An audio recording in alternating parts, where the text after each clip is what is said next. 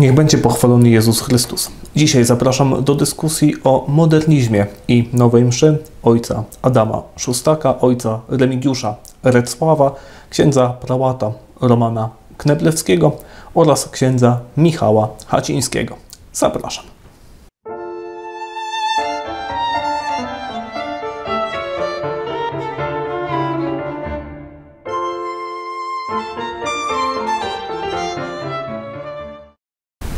Będę mówił w tym materiale o zależnościach, jakie widzę pomiędzy herezją modernizmu a nowym rytem mszy świętej i chciałbym, żeby ten materiał był taką okazją do dyskusji na ten temat. Dlatego zaprosiłem w tym, zapraszam w tym materiale do dyskusji właśnie dwóch księży, którzy będą moim zdaniem zdecydowanie po stronie obrony nowej mszy i dwóch księży, którzy są zdecydowanie bardziej e, przychylni e, wobec mszy świętej, trydenckiej mszy świętej wszechczasów. Ja tutaj, tak jak wspomniałem, przedstawię najpierw, czym był modernizm, a później jakie widzę zależności pomiędzy nim a nową mszą. A więc modernizm, czym jest ta herezja? E, wcale nie było proste, żeby uchwycić najważniejsze jej elementy. Gdy Pius X zabierał się za rozpracowanie tej herezji, e, wcale to nie było oczywiste, jakie są jej najważniejsze tezy. Um, u podstaw, u podstaw herezji modernizmu jest jedno podstawowe twierdzenie. Jeśli je zrozumiemy, to myślę, że rozumiemy już całą herezję.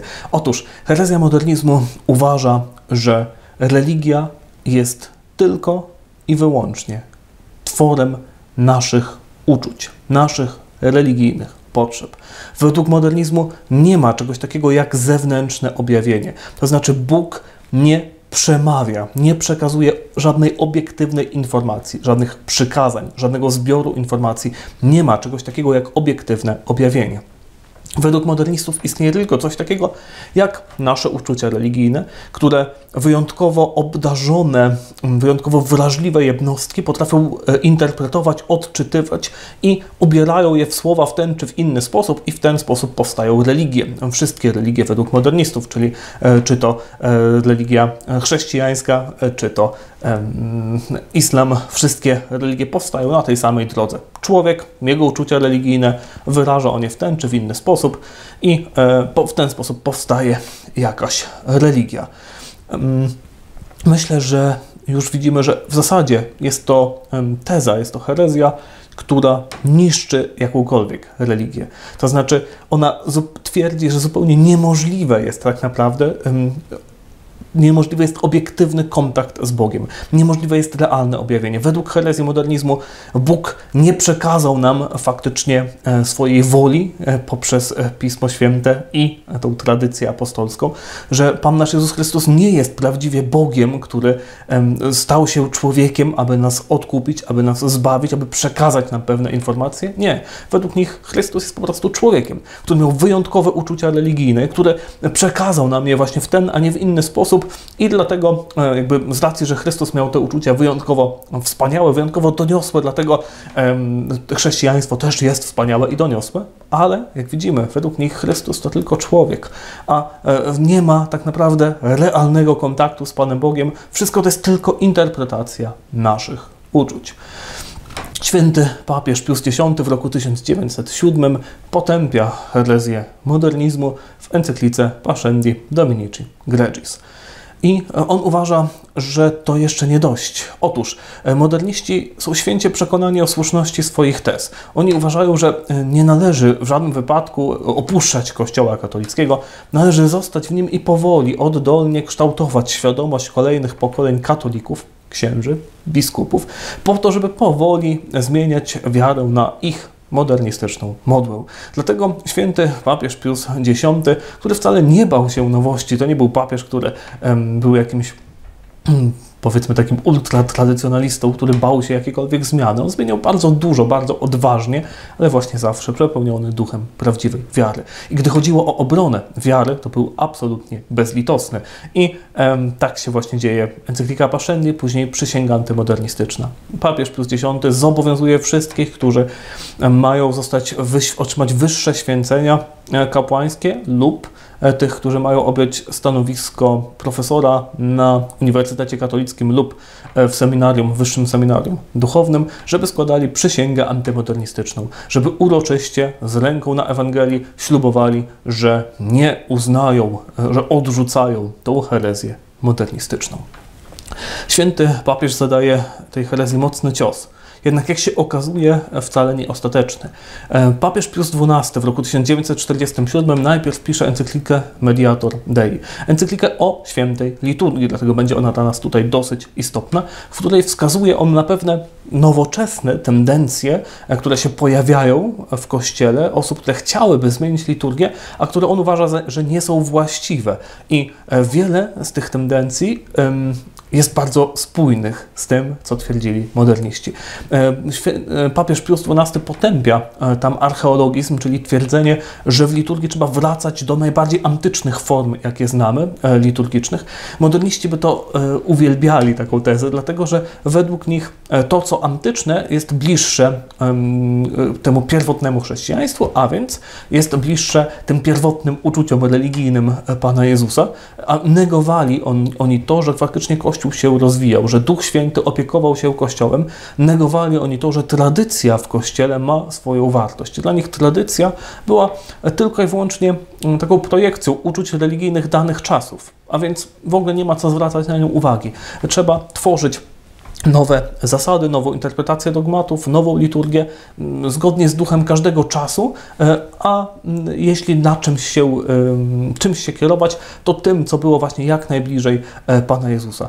To jest twierdzenie bardzo niebezpieczne i je potępia e, Pius XII właśnie w encyklice Mediator Dei, nazywając je archeologizmem. Dlaczego? Właśnie dlatego, że Kościół Święty zmieniał liturgię w bardzo konkretnym celu. Dlatego, że coś może lepiej zostało zrozumiane, albo coś lepiej chciano wyrazić. E, chciano bardziej na przykład podkreślić rzeczywistą obecność Pana Jezusa w Najświętszym Sakramencie. Jakieś prawdy wiary były w historii Kościoła atakowane i broniąc ich Kościół zmieniał w jakiś sposób liturgię, podkreślając jakąś prawdę wiary po to, aby wynieść ją na, na piedestał. I dlatego e, papież Pius XII mówi, że nie można tak po prostu bez szkody dla wiary wracać do form, które są e, antyczne, tak jakby e, Duch Święty nie opiekował się Kościołem, tak jakby nad rozwojem liturgii również nie czuwał Duch Święty. A więc archeologizm, e, ta chęć radykalnego powrotu do, do starożytnych form liturgicznych zostaje potępiona w roku 1947. Chwilę później, w roku 1950, Pius XII pisze e, encyklikę Humani Generis, która jest już bezpośrednio e, ukierunkowana, e, skierowana znowu przeciwko modernistom. Papież Pius XII pisze, że ta herezja nie umarła, że te błędy pojawiają się wciąż na nowo. Co to znaczy?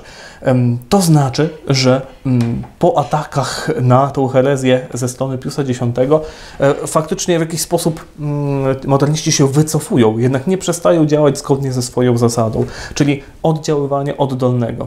I prawie 50 lat później po Pascendi Dominici Gregis, Pius XII czuje się w obowiązku znowu uroczyście potępiać te tezy, które pojawiają się niejako po raz kolejny w Kościele. To jest krótki okres czasu, 43 lata od jednego potępienia, 40 lat od e, przysięgi antymodernistycznej i nagle się okazuje, że te tezy wcale nie umarły, że one znowu są tak ważne, tak istotne, stają się w Kościele, że trzeba napisać kolejną encyklikę i po raz kolejny je uroczyście potępiać. To jest dla nas bardzo istotne. I teraz przez pół wieku Kościół walczy, walczy z tą herezją modernistów, którzy, pamiętamy, mają e, za zasadę, e, aby nie wychodzić z Kościoła, ale działać oddolnie, zmieniać powoli świadomość, zmieniać powoli teologię w Kościele. Przez pół wieku trwa ta walka. I nagle w roku 1967 e, papież Paweł VI stwierdza, że nie jest już potrzebna przysięga modernistyczna. On twierdzi, że dlatego, że to już jest nieaktualne, to już nie jest potrzebne. Czy faktycznie tak było? Pomoże nam tutaj, mm, aby to zrozumieć, pomoże nam w rozrozumieniu tego, pomoże nam interpretacja czy mm, spojrzenie właśnie na nowy mszał. Trzy lata po zniesieniu przysięgi antymodernistycznej, czyli bardzo szybko, e, ukazuje się już nowy mszał. Rok 1970, 70 ukazuje się e, pełny, już kompletny nowy mszał. I teraz jesteśmy bardzo krótko po tym, jak Kościół walczył przez 50 lat z herezją modernizmu. Normalnie rzecz biorąc, w takiej sytuacji Kościół w liturgii raczej starałby się przeciwdziałać tej herezji, raczej starałby się właśnie podkreślić to, co było negowane, to, co było szczególnie atakowane, po to, żeby bronić swoich wiernych przed błędami. To, do czego zobowiązywał święty Paweł, on, on zobowiązuje swoich następców, swoich biskupów do tego, żeby oni bronili wiary, żeby oni strzegli prawdziwej wiary. I to robili papieże również właśnie w ten sposób, że dodawali do liturgii jakieś elementy, które miały podkreślić, e, podkreślić jakieś prawdy wiary. I teraz po kolei przyjrzymy sobie kilku, przyjrzymy się kilku elementom nowej mszy e, i sprawdzimy, czy faktycznie można tam znaleźć jakieś próbę walki z tą herezją modernizmu, czy może raczej odpowiada ona dokładnie tezom e, tej herezji. A więc moderniści atakowali bardzo zaciekle nadprzyrodzony cel człowieka – według wiary katolickiej człowiek ma nadprzyrodzony cel, czyli przerastający nasze naturalne możliwości. Dlatego nie wystarczy być tylko grzecznym człowiekiem, żeby pójść do nieba. Dlatego, że nasze uczynki nie są proporcjonalne do tej nagrody, do nieba. Aby wejść do nieba, niebo jest szczęśliwością Trójcy Przenajświętszej. Aby wejść do nieba, potrzebujemy być wszczepieni w Chrystusa. Nadprzyrodzony cel i konieczność łaski uświęcającej, nadprzyrodzonej, przerastającą naszą e, naturę e, łaski, daru od Pana Boga, który wszczepia nas w Chrystusa. Odbywa się to poprzez chrzest, poprzez akt żalu doskonałego, odzyskujemy ją poprzez um, spowiedź świętą. A więc nadprzyrodzony cel, nadprzyrodzona łaski uświęcającej. Dla modernistów to była absolutna bzdura, bo oczywiście oni uważali, że religia jest tak czy siak tworem psychologicznym, naszym tworem, więc co tutaj mówić o czymkolwiek nadprzyrodzonym. E, tam nie ma w ogóle żadnego realnego kontaktu z Panem Bogiem, w sensie tylko na poziomie uczuć, subiektywny, natomiast nie ma obiektywnego przekazu, więc e, wszystko to, co Kościół nauczał, to jest dla nich tak czy siak tylko subiektywny odbiór uczuć religijnych. A więc nadprzyrodzony cel e, w herezji modernizmu nie istnieje. I teraz e, wypadałoby, jeśli faktycznie jest, następuje zmiana w liturgii, krótko po tym, jak przez 50 lat Kościół walczył z taką herezją, żeby podkreślić tą nadprzyrodzoność, to, że jesteśmy powołani do tak wielkiego celu, że mamy zostać wszczepieni w Chrystusa, że tutaj chodzi o powołanie do szczęśliwości samego Boga i że ten cel przerasta nasze naturalne możliwości, że to jest coś tak wielkiego. Natomiast w Nowej Mszy widzimy raczej absolutny naturalizm. Ta prawda została tak bardzo przemilczana, że dzisiaj w świadomości katolików prawie że nie istnieje i to jest mm, szokujące.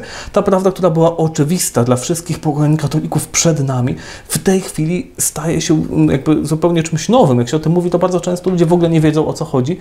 Dlaczego? E, dlatego, że i z przekazu katechetycznego, i z przekazu liturgicznego ta prawda po prostu wyparowała. Jej prawie, że nie ma. E, w Nowym Mszy prawie, że nie wspomina się o tym, że e, łaska przerasta nasze naturalne możliwości, że jest to coś więcej e, niż tylko mm, jakiś tam symbol Bożej pomocy, że jest to naprawdę nadprzyrodzone, przerastające nasze naturalne możliwości, wszczepienie w Chrystusa i że nasz cel jest, wymaga tego, abyśmy w tego Chrystusa byli wszczepieni. Tu przechodzimy do kolejnego punktu. Oczywiście dla modernistów Chrystus nie jest jedyną drogą do zbawienia. Oczywiście, że nie. On dla nich jest tylko człowiekiem, który miał wyjątkowe uczucia religijne. Dla nich nie jest ani Bogiem, ani nie jest prawdziwym Zbawicielem. Jest tylko człowiekiem, który miał wyjątkowe uczucia religijne i przekazał nam. I tyle. E, dlatego dla nich Chrystus nie jest jedyną drogą do zbawienia. Jak należy to zdanie rozumieć, odsyłam do mojego materiału, czy poza Kościołem jest zbawienie. Tam to e, dosyć długo wyjaśniam. Natomiast e, w Nowej Mszy właśnie, znowu, nie jest podkreślona ta zbawcza rola Chrystusa w tym sensie, że tylko On jest drogą, prawdą i życiem. Że tylko On jest tym jedynym pasterzem, do którego wszystkie owce mają zdążać. Że On jest jedynym Zbawicielem, że tylko w Jego imieniu jest zbawienie. E, te prawdy w Nowej Mszy, znowu, w porównaniu do Mszy Świętej, tak zwanej Mszy Świętej Trydenckiej, te prawdy są przemilczane, one znikają. To, co wskazywało na to, że On jest jedynym Zbawicielem, ta modlitwy, na przykład, które mamy w Starej Mszy bardzo, bardzo często, o nawrócenie, o nawrócenie pogan, o nawrócenie schizmatyków, heretyków i tak dalej. One wszystkie jakby znikają, nagle e, zaczyna się modlić, e, jest to dopuszczalne na Nowej Mszy, aby e, modlić się co sam, czego sam doświadczyłem jako młody człowiek, a, a, to nie była wcale jakaś bardzo postępowa parafia, zwykła wiejska parafia, jak, i doświadczyłem tam księże, księdza, który kilkakrotnie to słyszałem, modlił się w intencji Żydów po to, aby wytrwali w wierności ich powołaniu, w wierności ich przymierzu. Czyli e, w praktyce tam w, tej, w trakcie tej modlitwy wiernych modlono się o to, żeby e, Żydzi nie poznali Chrystusa, żeby wytrwali w tym swoim, e, w swoich talmudycznych przekonaniach. A więc te elementy zostały usunięte, ale też zostały dodane ewidentnie elementy, które, czy mogą być tam używane elementy, które są ewidentnie sprzeczne z tym, że Jezus Chrystus jest jedyną drogą do zbawienia. Według modernistów, tak jak już wspomniałem, tradycja e, to mm, są tylko przestarzałe już mm, interpretacje uczuć religijnych. To są rzeczy, które odpowiadały tamtym czasom, wynikały z uczuć religijnych ludzi tamtego okresu, ale teraz w ogóle nie są dla nas w żaden sposób adekwatne. My musimy zrobić to zupełnie po swojemu. E, natomiast Kościół Święty zawsze mówił, że tradycja jest święta. Tradycja apostolska, to co nam apostołowie przekazali, to w ogóle jest e, źródło objawienia. To, co, czego apostołowie nie spisali w Piśmie Świętym, a czego nauczali swoich uczniów, e, czyli ta najstarsza, pierwotna tradycja, tradycja apostolska, to jest w ogóle źródło objawienia, ale również właśnie tradycja liturgiczna na przykład mm, to również jest rzecz wielce drogocenna, bowiem e, według wiary Kościoła Duch Święty opiekuje się swoim Kościołem. Ten Duch Święty przecież miał sprawić, że Kościół będzie filarem i podporą prawdy, a więc opiekuje się trwa w nim i dlatego Kościół Święty niezwykle szanował swoją tradycję, chociażby tradycję liturgiczną. Dlatego oczekiwalibyśmy, że właśnie w obliczu tej herezji modernizmu, która uważała, że wszystko to trzeba wyrzucić do śmieci, Kościół powinien potwierdzić, pokazać tym bardziej, jak bardzo ceni e, swoją tradycję, chociażby właśnie tradycję liturgiczną. Pokazać, że to faktycznie powstawało pod natchnieniem Ducha Świętego, jak bardzo to jest piękne i wspaniałe. I nawet jeśli miałoby dojść do jakichś zmian, to właśnie z wielkim szacunkiem, z wielką miłością, tak żeby wynieść jeszcze bardziej na piedestał to, co zostało wypracowane. A co się stało? Zostały te mm, ceremonie wypracowywane jakby przez całe wieki zostały usunięte, skasowane. To został stworzony zupełnie nowy ryt, z dnia na dzień, sztucznie wyprodukowany nowy ryt przez ekspertów, którzy według swojego widzimisię w zasadzie e, tworzyli ryt, twierdząc, że odnosi się on do antycznych ceremonii. Wiemy, jak to jest z ekspertami. Jeden powie to, drugi to. Będą mieli zupełnie sprzeczne tezy. Dlatego polega, poleganie w kwestiach liturgicznych na iluś tam ekspertach, którzy mieli stworzyć tak na podstawie tego, co myśleli, że jest antyczne, e, jakiś ryt, porzucając całą wielowiekową tradycję Kościoła, tą łacińską tradycję liturgiczną, e, to jest potężny cios. To jest potężny cios dla wiary Kościoła i to jest e, potężny cios na korzyść modernizmu, który właśnie to twierdził tradycja. Nie, ważne, żeby to odpowiadało naszym uczuciom, żeby to odpowiadało ludziom czasów e, współczesnych. Potężny cios dla katolickiej wiary, potężny cios dla e, tradycji, którą Kościół uważał właśnie również za natchnioną przez Ducha Świętego. Wydarzyło się coś, co nigdy nie miało jeszcze miejsca. Został stworzony sztucznie ryt mszy świętej w Kościele katolickim. Nigdy coś takiego nie miało miejsca. Od czasów Pana Jezusa ryty powstają organicznie, właśnie poprzez powolny rozwój, poprzez powolne dodawanie jakichś, jakichś modlitw, tak żeby do tych pierwotnych tekstów dołączano teksty, które, które, czy ceremonie, które lepiej miały coś podkreślić i w ten sposób powstały wszystkie, wszystkie katolickie e, ryty, których jest wiele przecież i które są różne, ale które wszystkie są pełne czci, pełne szacunku, e, pełne miłości do Pana naszego Jezusa Chrystusa, na Niego ukierunkowane. A tutaj nagle grupa ekspertów się zbiera, stwarza zupełnie nowy ryt. To jest bardzo niekatolicki sposób myślenia o liturgii, bardzo za to odpowiadający tezom modernistów. Oczywiście, jak już wspomniałem, moderniści negują bóstwo Pana naszego Jezusa Chrystusa. Jeśli ktoś chce o tym e, coś więcej usłyszeć, również polecam mój materiał Jezus Chrystus, Bóg i człowiek. E, dlatego liturgia, która się wprowadza, którą się wprowadza chwilę po tym, jak przez 50 lat potępiana była uroczyście herezja modernizmu, wydaje się, że powinna podkreślać bóstwo Pana naszego Jezusa Chrystusa. Natomiast w porównaniu do mszy, do mszy świętej trydenckiej, w nowej mszy praktycznie, czy może nie, nie przesadzajmy, usunięto bardzo wiele tych elementów, które wskazywały, które wyrażały wiarę w Pana naszego Jezusa Chrystusa. Nie znaczy to, że nie ma ich wcale. Jest wiele takich fragmentów, które można w ten sposób zinterpretować, które jakby naturalnie byśmy w ten sposób zinterpretowali, ale wiele bardzo jednoznacznych elementów usunięto. Ograniczono chociażby we, liczbę wezwań trinitarnych, wezwań Trójcy Przenajświętszej. Ograniczono drastycznie liczbę znaków krzyża, które również są tą, wyrażają wiarę e, w Trójcę Przenajświętszą i przede wszystkim, co jest bardzo znaczące, usunięto odmawianą wcześniej po każdej mszy świętej Ewangelię według świętego Jana, prolog Ewangelii według świętego Jana, najważniejszy fragment właśnie trinitarny, najważniejszy fragment podkreślający bóstwo Chrystusa. Słowo było Boga i Bogiem było Słowo. Słowo stało się ciałem i zamieszkało między nami.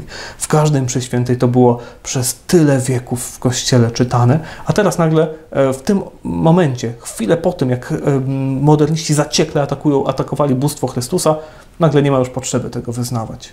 Tak się okazuje. Modernizm jest ukierunkowany na człowieka. E, spójrzmy na to, że według tradycyjnej wizji w ogóle religii, e, w religii chodzi o to, żeby łączyć człowieka z Bogiem. Kościół wierzy, że otrzymał przekaz od Pana Boga, czyli Bóg, który obiektywnie jest, który daje nam obiektywny przekaz, informacje, objawienie, które mamy, które musimy przyjąć i do którego mamy się dostosować. E, to jest wizja, która jest ukierunkowana na Boga. Bóg daje obiektywny przekaz, my mamy się dostosować. Według modernistów, czy Bóg jest, czy nie ma, wszystko jedno, jest człowiek. On ma uczucia religijne i tworzy religię. Wszystko wychodzi od, od człowieka i ostatecznie też do człowieka prowadzi, bo e, siłą rzeczy jego uczucia, e, jaką mają mamy gwarancję, że one gdziekolwiek e, wychodzą poza niego samego, że one dosięgają jakiegoś bytu absolutnego, gdzież nie ma żadnego realnego z nim kontaktu. Wszystko jest tylko na poziomie naszej psychologii, naszych uczuć i tak A więc modernizm siłą rzeczy był herezją ukierunkowaną absolutnie na człowieka. Tam wszystko kręciło się wokół jego potrzeb, uczuć i tak dalej, i tak. Więc oczekiwalibyśmy, że liturgia, która powstaje chwilę po tym, jak modernizm, modernizm został potępiony, powinna podkreślać ten prymat tego, co boskie, pokazywać, że On jest najwyższym władcą, a my mamy się dostosować do tego, co On nam nakazuje. Co się stało? Nowa liturgia e, przez mnóstwo różnych symbolów, E, pokazuje, że w zasadzie to najważniejsza w trakcie liturgii jest wspólnota. Sam kierunek celebracji, tworzenie niejako takiego kręgu, troszeczkę kręgu właśnie wzajemnej adoracji. Wprawdzie oczywiście Pan Jezus pod postacią chleba i wina jest obecny w środku, ale widzimy jak to w praktyce działa. Te spojrzenia i kapłana raczej ciągle uciekają na wiernych i wiernych e, skupiają się na tym, co kapłan mówi, na jego gestykulacji, a nie w pierwszej linii, e, tak jak to było wcześniej e, na krzyżu, na tabernakulum, na ołtarzu.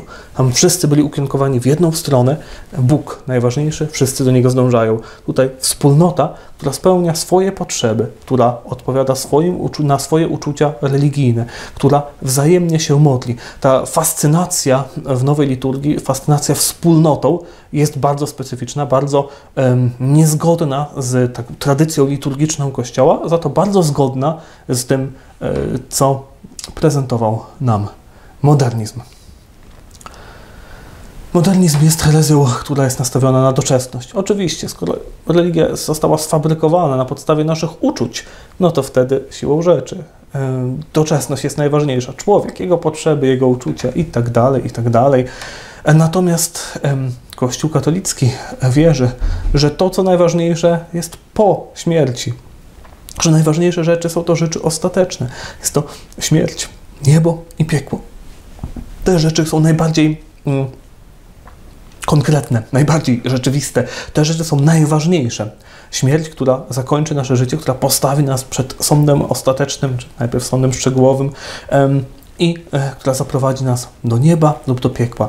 No, do nieba e, przez czyściec ewentualnie.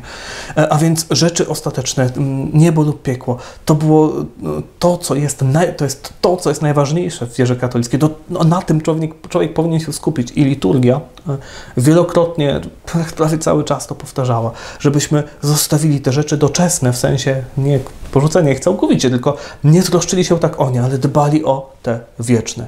To powtarzało się wielokrotnie. Bardzo często modlimy się w tradycyjnej liturgii, o to, żebyśmy potrafili pogardzać rzeczami doczesnymi, a dążyć do tych niebieskich, żebyśmy e, bali się, e, obawiali się tej, tego ryzyka potępienia wiecznego, tak jak e, mówi święty Paweł, że z drżeniem zabiegam o, o moje zbawienie. Czy, a w nowej liturgii te elementy praktycznie zniknęły. Nie mówi się już o tym, o tym wielkim prymacie wieczności, o tym, co jest tak naprawdę istotne. Nie ostrzega się już przed e, możliwością wiecznego potępienia. Jakby ta wieczność gdzieś tam odeszła w cień. E, za to właśnie warte, e, warte uwagi co się stało? Stała się wspólnota, stały się nasze doświadczenia, a więc istotne stały się przede wszystkim już rzeczy doczesne. Podsumowując, pół wieku po, pół, po pół wieku zaciętej walki z herezją modernizmu. Pamiętamy o przysiędze antymodernistycznej. Papież zobowiązał wszystkich do składania takiej przysięgi. To jest bardzo drastyczny ruch. Po pół wieku takiej walki Kościół nagle rezygnuje z tej przysięgi. Trzy lata później wprowadza nowy mszał, który nie tylko walczy z tymi modernistycznymi tezami, ale zdaje się je dokładnie realizować.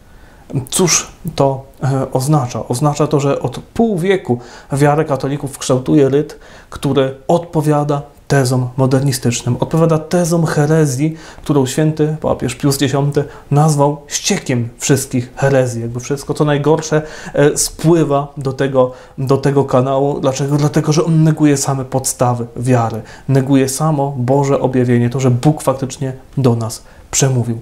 Zapraszam tutaj do dyskusji, do zgadzania się i niezgadzania się. Będę bardzo szczęśliwy, jeśli któryś z wymienionych księży zechce odpowiedzieć na ten materiał ten czy w inny sposób. Niech będzie pochwalony Jezus Chrystus.